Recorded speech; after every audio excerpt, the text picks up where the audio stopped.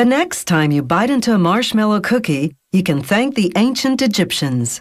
They invented marshmallow candy by thickening honey with sap from the root of the marshmallow plant, a herb that grows in salt marshes and along large bodies of water.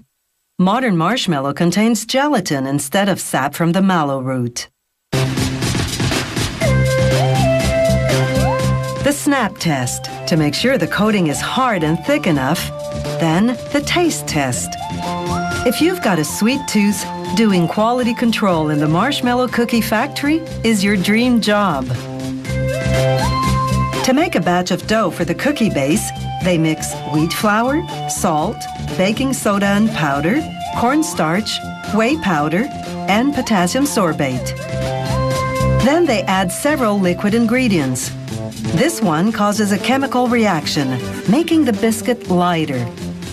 This cream-colored liquid is vegetable oil shortening. This transparent liquid is glucose fructose, a sweetener. The ingredient proportions are also a company secret. From the mixer, the dough goes into a machine called the chipper. It shreds the big blob into pieces about the size of the cap on a highlighter pen. This makes the dough more manageable for the next machine, called a rotary mold. Inside that machine, a large roller flattens the dough pieces, forming them into a dense sheet about one and a half centimeters thick. It then presses the sheet against another roller whose surface is a cookie mold. The factory uses the rotary mold machine for many different types of cookies. It simply installs the appropriate roller for the cookie in production. For marshmallow cookie bases, the mold cavities are round.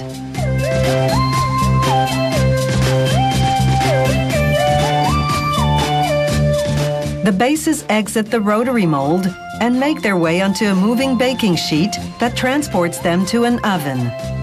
The baking time and temperature are, once again, top secret.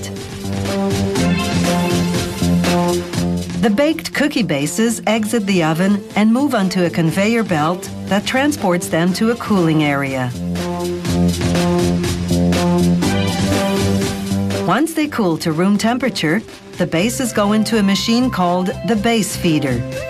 It lines them up like marching soldiers to receive their marshmallow filling and chocolate coating. The process does require military precision.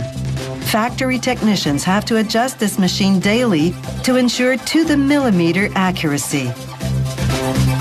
A portion of filling has to land perfectly centered on each base, finishing off in a curled peak, this brand's trademark.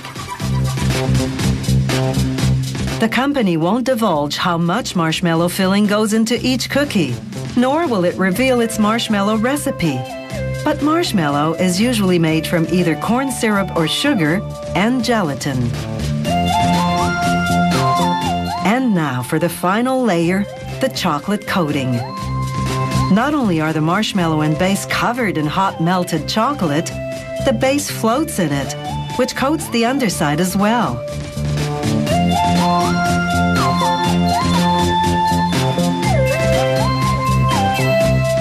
Built-in air jets blow off the excess. The chocolate hardens inside a cooling tunnel. How long that takes and the tunnel temperature are, you guessed it, classified information. As the cookies exit the cooling tunnel, a quality control worker does spot checks to ensure the coating is thorough, hard enough, and thick enough. On the packaging line, the cookies go into plastic trays. To keep up to speed, the workers have to grab four cookies in each hand without breaking the coating.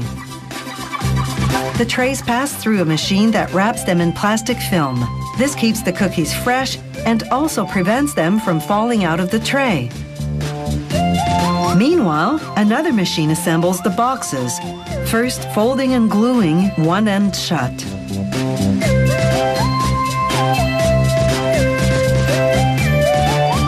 Once workers load the trays, the machine glues the open end closed as well.